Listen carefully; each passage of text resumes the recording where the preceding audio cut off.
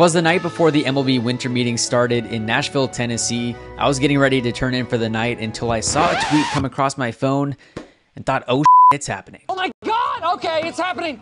Everybody stay calm. What's the Everybody procedure, stay everyone? calm. What's the procedure? Stay calm. Wait, wait, wait, wait, wait. Everybody calm down. The tweet was from Ken Rosenthal. He stated the Braves have acquired Jarred Kelenic from the Mariners. Sources tell The Athletic. Rest of deal is not yet known.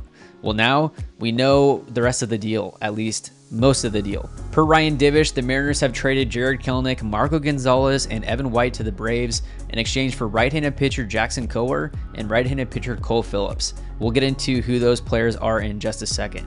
Ryan then said, with Marco Gonzales headed to Atlanta, JP Crawford is now the longest tenured member of the Mariners. And it was five years ago to the date that JP Crawford was traded from the Philadelphia Phillies to the Mariners, December 3rd, 2018.